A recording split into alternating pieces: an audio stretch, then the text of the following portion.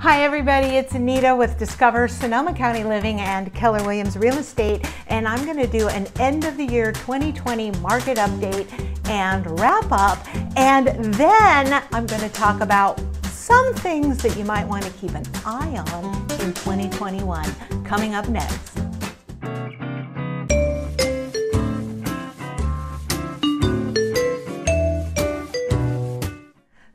Happening here at the end of 2020? Well, let's talk about November because real estate numbers are usually a month behind.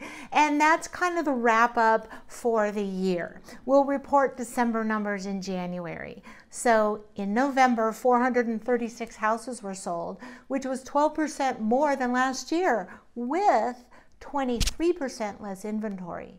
So what does that mean for everybody? Well, if you're a seller or you've been thinking about selling, that's like the perfect seller's market, right? I mean, who doesn't want to sell their house when nobody else is selling their home? You want to sell when you're kind of alone out there. Well, you're not really alone, but you know what I mean. What better time to get over asking price because buyers are groveling for your home than now?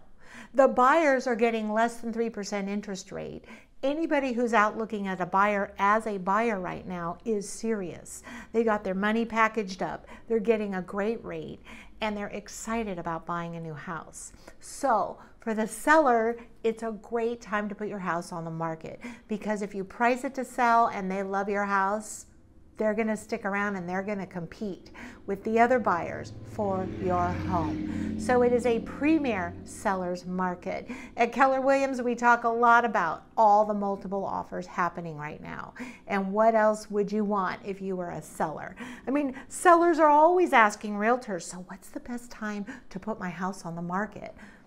Now that's the answer. This is a great time to put your house on the market. And things move at a snail's pace in real estate, so it's going to be slow like this with low inventory up till April. I mean, that's about as far as I can see ahead. So, um, get your house on the market. that's uh, a really smart thing to do now because the buyers are serious and they want to buy, and well, they'll compete for your house. So that's kind of the end of the year market here in 2020. Now, let's talk about some things that I think are super important for 2021.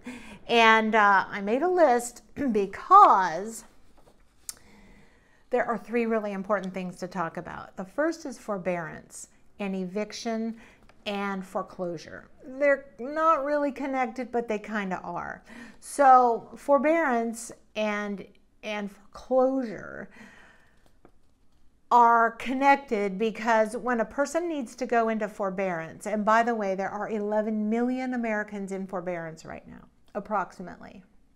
So a lot of people had to call their lender and say, Can I arrange with you to not pay my mortgage for three or four months?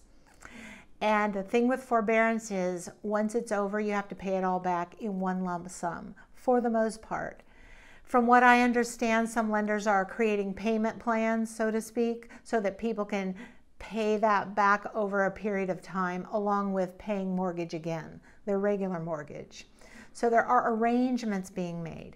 But even with all of that, some people are going to have to sell their house to pay bills and to stay aloft. So forbearance is bearing down on people and it's going to be a thing to keep your eye on in 2021. The eviction and foreclosure moratorium, which was put on by the president, uh, basically said that your landlord can't kick you out and your bank can't kick you out uh, if you can't pay mortgage or rent through December 31st, which is but a few days away. And uh, that is basically over on January 1st. So, what happens? A lot of stuff is going to happen. Will it be extended? There's massive talk on the newsways or the airways um, that it could be extended through January. But nonetheless, homeowners and renters are going to keep need to keep their eye on the market uh, because uh, there, there's a change a coming and normalcy is coming again. So it's a time to prepare. That's how I would kind of frame up 2021. It's a time to keep your eye on the market and to know what's coming down the pipe. So if you are an investor and you own rental properties, you're probably thinking of selling a few of them. And some investors are keeping their eye on the market because there's going to be some distressed properties that they're going to want to scoop up and buy. So there'll be a lot of activity in this realm of real estate because of the pandemic and its effect on the economy, people's jobs, and their ability to hold on to their homes. So that's worth keeping an eye on. The second thing is that the government is printing money like crazy. It's print more money, printed more money since July than any other period in time. I just watched and saw a graph that was shocking how much money is being printed right now. And that always leads to inflation, and inflation affects every single American's lives. It's not a good thing. It takes decades, years to get away from inflation. There's all kinds of things um, fluttering around that and, and reasons why that happens. But the government printing a lot of money is usually the telltale sign that inflation is around the corner. So keep an eye on that. You might want to read a little or watch a little Robert Kiyosaki and the Stansberry report on YouTube so that you too can keep informed about these rather big events that are going to be a part of uh, the 2021 news cycle. Lastly, I've already mentioned this, but Yahoo and awesome deal for buyers. Interest rates are below 3%. Get out and buy a house. There are all kinds of new homes on the market, which I'll talk about in a second. And um, it is an optimal time for buyers to buy you have the lowest rent on your money if you're getting a loan than ever in the history of all history. So if you can make arrangements to buy a new house, uh, good for you. You're going to get a great deal, and um, it's just all around good, good, good. The last thing I really wanted to talk about before I wrap up the year is I have an all new YouTube channel, Facebook channel, Instagram channel, all called Discover Sonoma County Living, along with my website.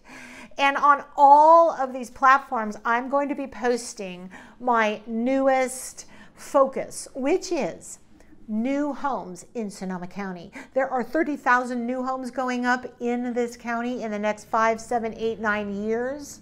30,000. You heard me right.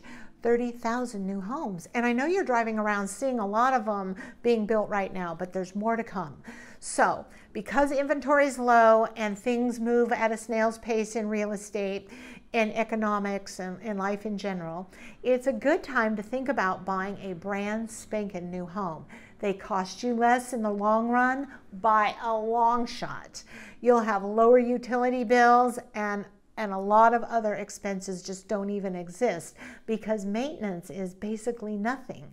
The uh, contractor who built your new house has you in warranty on a lot of stuff for several years after you own the house. So if something breaks, they replace it or they fix it. So the maintenance on a new house, the utility bills on a new house, and a lot of other things are fantastic and worth looking into who doesn't want to be the first person to move into a house? So I'll be posting new information on all the new uh, developers and the developments and um, old versus new and all kinds of information about buying a new home in 2021. So hit the subscribe button and the little bell and you'll get all my future videos. Give me a thumbs up. Make sure you look in, uh, not the comments section, but the section below here that has all my free stuff. If you're relocating or you know somebody who is, send them this link because they can print my buyer's guide or relocation guide or a seller's guide. And uh, that always gives you a good start if you're starting to dig into the process of buying or selling a home. I give away all kinds of free stuff all year long down below every single video. And to wrap up the year, I love my heroes. I'm an affiliate with Homes for Heroes. I give away big fat checks after you buy or sell a home to anybody who qualifies as a hero. Those are our first responders, our active and retired military, our great teachers, our dentists, our veterinarians, and well, a whole myriad of other people who are our heroes. I love giving back to you. I thank you very much for all you've done in 2020. And well, we're wrapping it up here. 2020 is out the door and 2021 is coming in. Happy New Year, and I'll see you around the neighborhood.